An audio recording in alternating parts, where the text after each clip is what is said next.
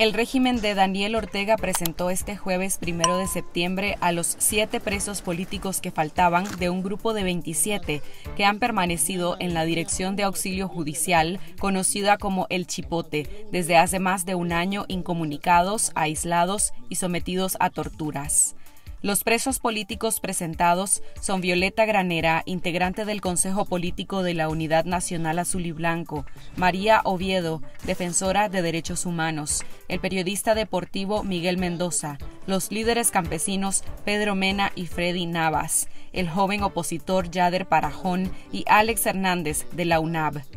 Al igual que las dos rondas anteriores, los medios de propaganda del régimen difundieron fotografías y videos de los reos de conciencia durante su participación en unas audiencias informativas, consideradas ilegales por abogados independientes. Lea la noticia completa en confidencial.digital.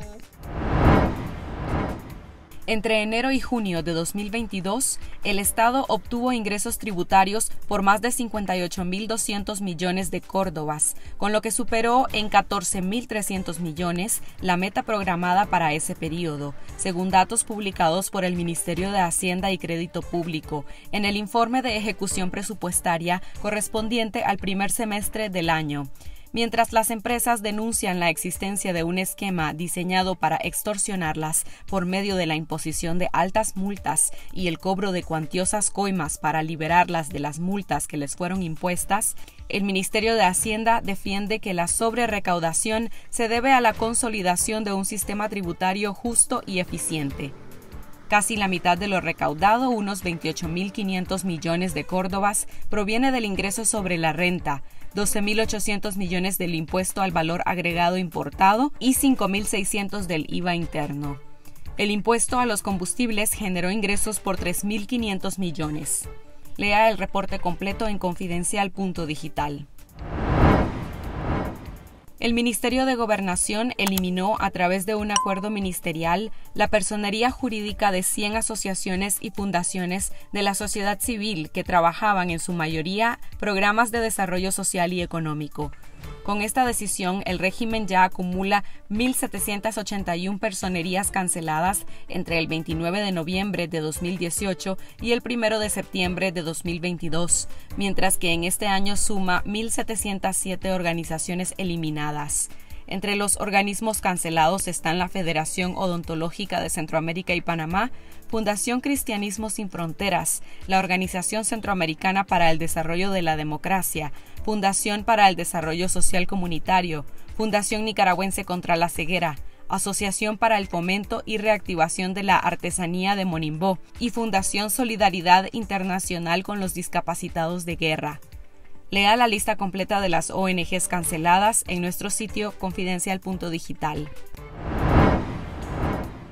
La madre de Monseñor Leonardo Urbina Rodríguez, el segundo religioso condenado por el régimen de Daniel Ortega en los últimos tres meses, pidió que le permitan verlo después de 49 días de encierro en la Dirección de Auxilio Judicial conocida como El Chipote.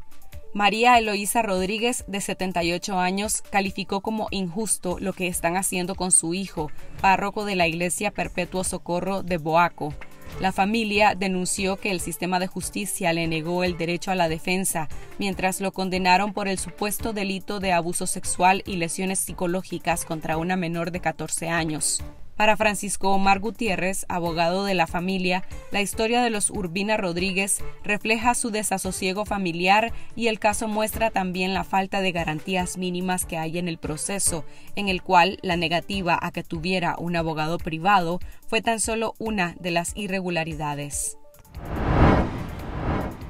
Cinco sacerdotes habrían salido al exilio debido a la persecución del régimen de Daniel Ortega y Rosario Murillo, aseguró en sus redes sociales el abogado Yader Morazán.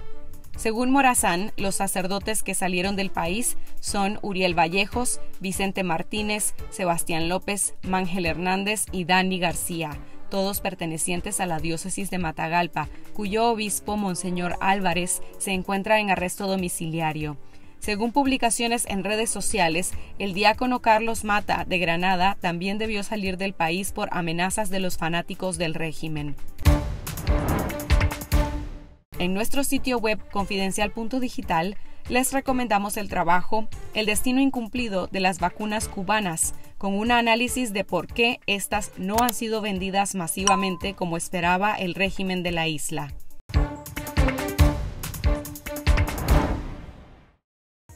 Gracias por ver este video y si aún no lo has hecho, suscríbete a nuestro canal en YouTube, activar las notificaciones para recibir las noticias del momento sobre Nicaragua. Tu respaldo a Confidencial es imprescindible para seguir informando y para ganar la batalla de la verdad.